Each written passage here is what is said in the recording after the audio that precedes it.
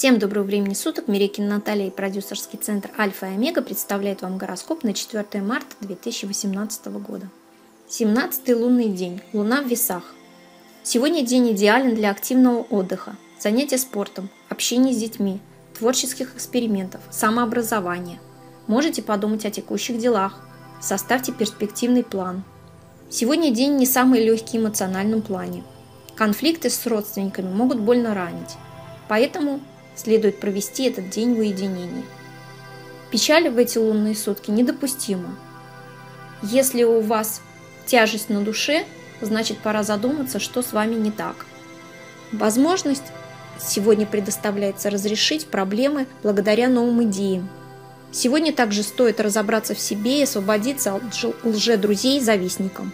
Благоприятный период для примирений, наведения мостов прерванных отношениях. Бытовые дела это покупка одежды, улучшение внешности.